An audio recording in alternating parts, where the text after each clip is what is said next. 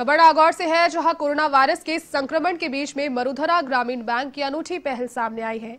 आपको बता दें, बैंक की ओर से मोबाइल एटीएम वैन की सुविधा शुरू कर दी गई है। इससे लोगों के सामने खड़ी हो रही कैश की दिक्कत खत्म होती नज़र आ रही है।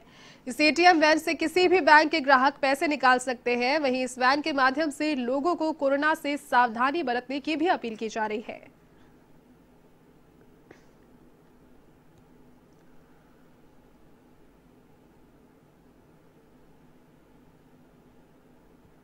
ये जो ए एटीएम वैन हमारे राजस्थान मौजूदा ग्रामीण बैंक की है, जो हमने शुरुआत की है तो कलेक्टर साहब के आदेश से ये जब उन्होंने आवश्यकता महसूस की कि लोग घरों से बाहर निकल रहे हैं एटीएम जाने के लिए, बैंक जाने के लिए तो उनकी तरफ़ से डिमांड की गई कि कुछ ऐसी व्यवस्था हो कि जिससे क्या लोग घर में रहें और उनको अगर नगदी की व्यवस्था जो व्यवस्था है, वो घर पे ही अगर हो जाए तो ज़्यादा अच्छा रहेगा। लॉकडाउन के टाइम पे उसका पालन भी हो जाएगा।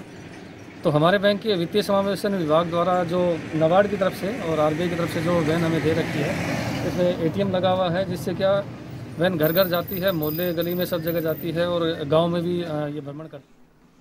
कोरोना महामारी की